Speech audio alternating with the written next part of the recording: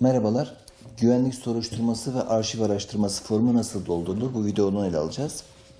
Ee, bildiğiniz üzere 650 sayılı kanunun 48. maddesinde yapılan düzenleme ile ve diğer kanunlarda yapılan düzenleme ile birlikte e, kamu personeline memur olsun, e, işçi statüsünde olsun, sözleşme personel statüsünde olsun girişlerde artık güvenlik soruşturması ve arşiv araştırması yapılıyor. E, kamu personeli olarak herhangi bir yere atanmayı hak edenler e, bu güvenlik soruşturması formunu doldurmak zorunda. Bu ne zaman oluyor?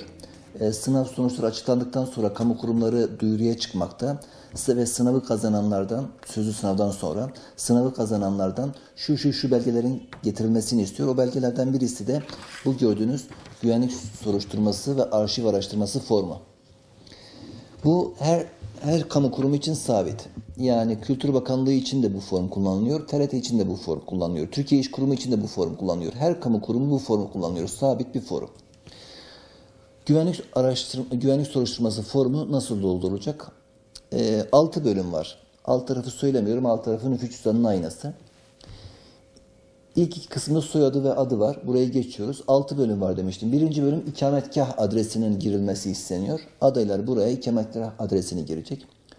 Halen oturma adresi isteniyor. Eğer ikametgah adresinin dışında farklı bir yerde halen oturuyorsa buranın adresi yazılacak ama e, eğer ikametgah adresiyle oturma adresi aynıysa yukarıya ikametgah adresi olan bölüm buraya aynısı yazılacak.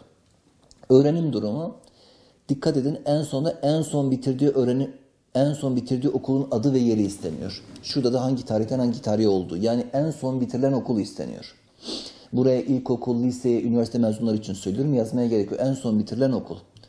Aileye ait bilgiler bölümü var. Burada ee, dört akrabanın bilgileri isteniyor. Babanın, annenin, eşin ve kardeşlerin, 18 yaşından büyük kardeşlerin soyadı, adı, doğum yeri, tarihi ve uyruğu isteniyor. Bir de eğer halen yaşıyorlarsa bunların adres bilgisi isteniyor. Bakın babasının, annesinin, eşin ve 18 yaşından büyük kardeşlerin yaşıyorlarsa adrese ek olarak soyadı, adı, doğum yeri, tarihi ve uyru.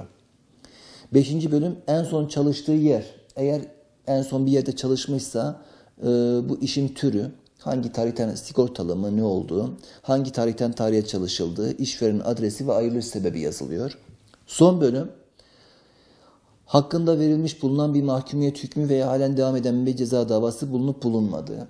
Tüm adaylar burayı doğru bir şekilde cevaplandırılmalı. Çünkü bugün e, itibariyle e, meclisten geçen kanun çerçevesinde artık e, güvenlik soruşturmasını yapacak MİT, Emniyet ve Mülki İdare amirleri bu bilgilere ulaşabiliyor. Dolayısıyla eğer sizin bir ceza soruşturması hakkınızda yürüyen varsa, takipsizlik dahi almışsanız ee, ceza eğer ceza almışsanız pardon yanlış söylüyorum ceza almışsanız onu buraya yazmanız gerekiyor.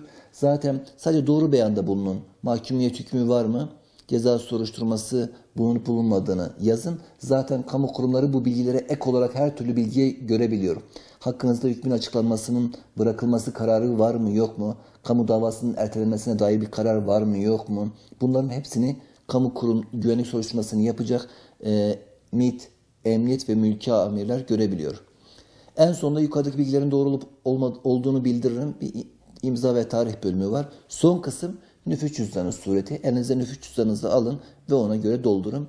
En son kısmı ise siz değil nüfus cüzdanı suretini onaylayan makam verdiğinizde o makam kendisi onaylayacak.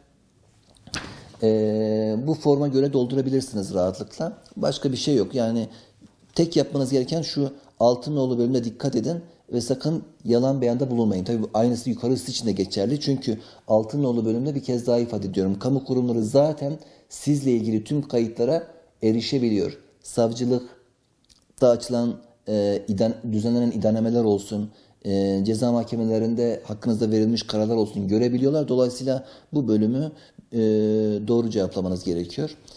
E, güvenlik soruşturması ile ilgili söyleyeceklerimiz bu kadar. Bir sorunuz olursa bu videonun altından bize yazabilirsiniz.